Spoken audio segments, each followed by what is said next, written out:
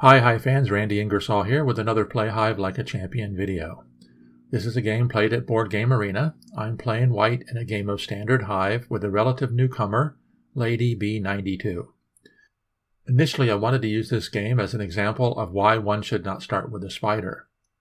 As I reviewed the game I came to realize there's much more to it than just the maxim, don't start with a spider. So let's get the game underway. With no ladybug in play, I almost always start with a grasshopper to set up a good defender. Black opens with a spider, and it's interesting to note that black does not have to play the queen on turn 2. Typically there's no danger in waiting until turn 3. Rarely, however, should you wait until turn 4, particularly if you're playing black.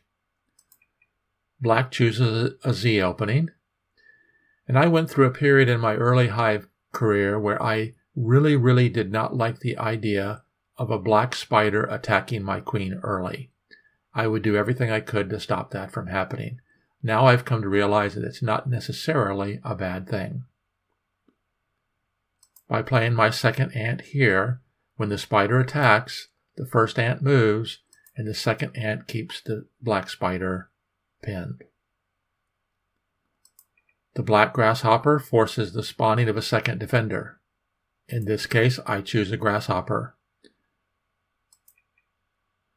The black grasshopper immediately pins the newly placed white grasshopper, but as Joe Schultz in his book, The Canon of Hive Groundwork, he calls it a false pin. As we shall see later, when this kill spot is filled here, the defending white grasshopper is freed. Another instructional point here, this kill space is currently protected by the gate here. The tempo gained is used to bring in white ant number 3, which promptly does what ants do best, pin other ants.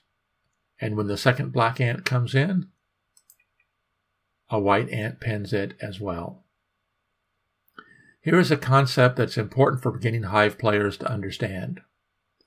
Surrounding your opponent's queen is not the goal in hive. That's just how you win. I gladly release the attack to pin the ant. Note how the placement of this pin restricts black spawn points. Black only has six. Three on the black queen here, one defensive spot here, one on this ant,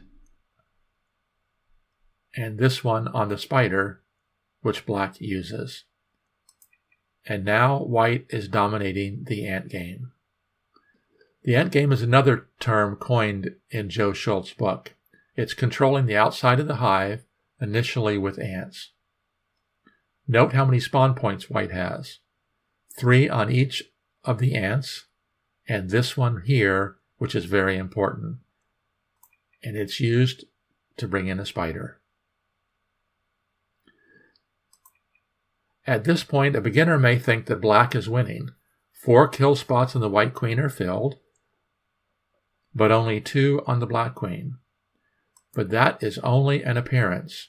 White has two excellent defenders here and here, and as we mentioned earlier, is controlling the ant game. Looking at the reserve, black only has three bugs left, and when one of the defenders jumps out, black has three spots to fill. All white must do is stop one bug.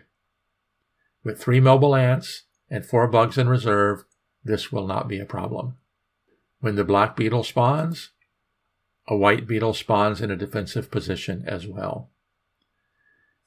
And here is a big mistake. By immediately attacking, the black beetle frees the defending white grasshopper, which performs a pin replacement here, freeing the white ant. Again, not attacking, but controlling.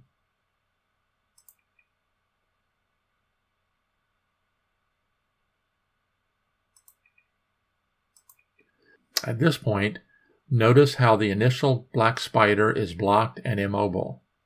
If this were a grasshopper, it could immediately switch from defense to attack, but the spider is stuck. Getting easily blocked by the freedom to move rule is the primary reason that starting with a spider is bad.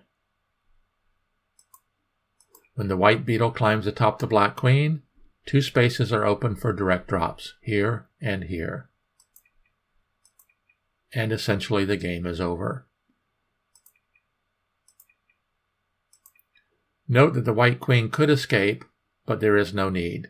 The white attack continues to its climax.